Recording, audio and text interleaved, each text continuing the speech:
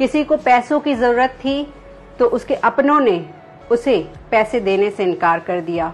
भाई, मेरे पास तो खुद पैसे नहीं है, मैं तो खुद अपना घर चला रहा हूँ। लॉकडाउन है, मेरा कारोबार नहीं चल रहा है, मेरा कारोबार ठप पड़ गया है।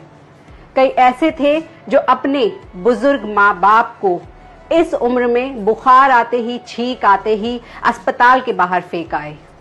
आपके माँ बाप ने आपको ज़िंदगी भर पाला। लेकिन आप अपने माँ बाप को कुछ बुरे समय में नहीं पाल पाए। यही हमारा अपनापन था।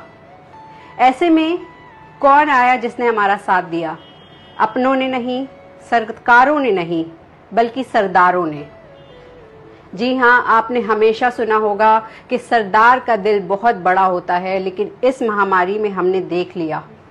आज से पहले सुनते थे कि हाँ भाई, फलाना जगह पर लैंडस्लाइड हुई है। वहाँ पर सरदारों ने लंगर लगाए हैं, खाने के कपड़े दे रहे हैं, लेकिन इस बार जो उन्होंने किया, वो अनूठा था। कभी सुना था कि सासों का लंगर हो सकता है? जी हाँ इस बार आपकी ज़िंदगी, आपके अपनों की ज़िंदगी चंद सांसों पर अटकी हुई थी, और वो साँसें किसने दी? इन सरदारों ने।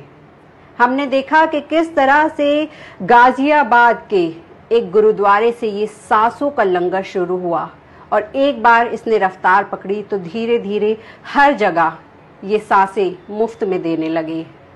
दिल्ली का दमदमा साहिब हो या फिर गुरुद्वारा बाला साहिब। कनॉट प्लेस का बंगला साहिब गुरुद्वारा हो या फिर रकाबगंज गुरुद्वारा। हर जगह लोगों की मदद के लिए ये सिख कौम आगे आई, जिसके बारे में हमने हमेशा सुना था, फ़िल्मों में देखा था। फ़िल्मों में हमारे जो फेवरेट एक्टर्स थे ना, सब भाग गए।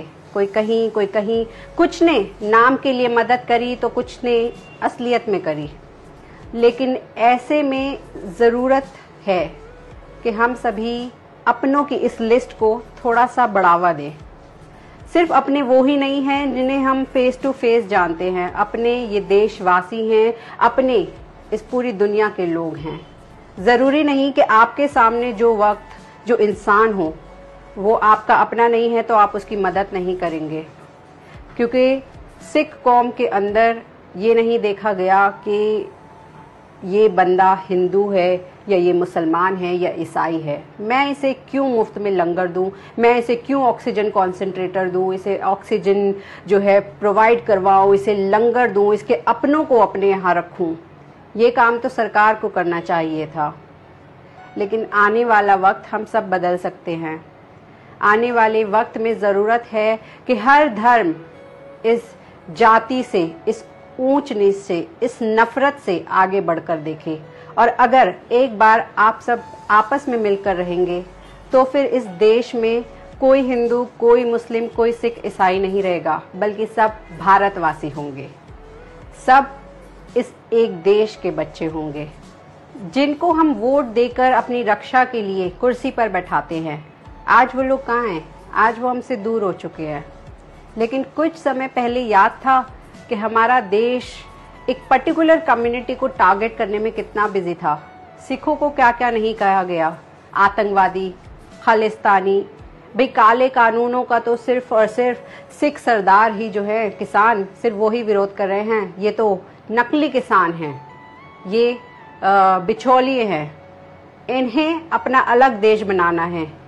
लेकिन ऐसे कड़वे इल्ज़ामों के बाद भी आज यही सिख कौम है जो मानवता के लिए आगे आई। चाहे ऑक्सीजन हो, चाहे दवाइयाँ हों। जी हाँ रेमडेसिविर फेबीफ्लू जैसी महँगी दवाइयाँ जिनकी काला बाजारी तक हमने देखी इस कोरोना वायरस में, वैसी दवाइयाँ इन लोगों ने मुफ़्त में बांटी। जो मरीज़ आया सिर्फ़ उन्हीं को ही नहीं, बल्कि उनके साथ जो उनके अपने परिजन आए, उन तक को खाना खिलाया इन सरदारों ने, इस सिख कौम ने। सिर्फ़ रहने की ही जगह नहीं दी, बल्कि आने जाने का खर्च दिया। कोई कमी रह गई हो तो उसकी भी पूरी सेवा करी इस सिख कौम ने, जिसे हम कुछ सवाल पहले कर रहे थे कि आखिर इनकी फंडिंग कहाँ से आ रही है, जो इतना लंबा ये आंदोलन चला रहे हैं। क्या आज नहीं पूछेंगे कि इनके ऑक्सीजन लंगर की फंडिंग कहाँ से आ रही है? यकीन कीजिए, मैंने खुद ऐसे लोग देखे हैं जो कुछ समय पहले इनकी बुराई कर रहे थे, लेकिन आज अपनी जान बचाने के लिए, अपनों की जान बचाने के लिए वो इन्हीं के दर पर गए और इनका शुक्रिया किया।